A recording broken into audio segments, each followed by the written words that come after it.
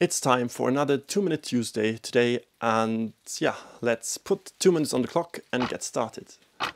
In a normal training week I have a minimum of one practice session and what that means is that I go bouldering but I will focus on trying to improve my technique and my movement capabilities.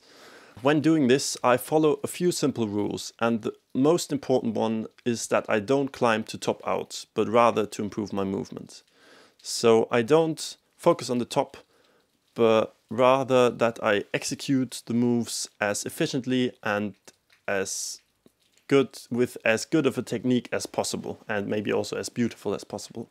And as I mentioned in uh, previous videos, I always try to do a move five times in a row. So if I do a boulder and I'm maybe not sure about the move, maybe it's it feels a little hard or I can't do it, then I will try it until I can do it five times in a row without um, any failures. So if I think like I didn't execute it good enough, then I will start again trying it doing trying to do it five times in a row in a beautiful way, a good way. Maybe five times is too much from some people because you don't have the time for it.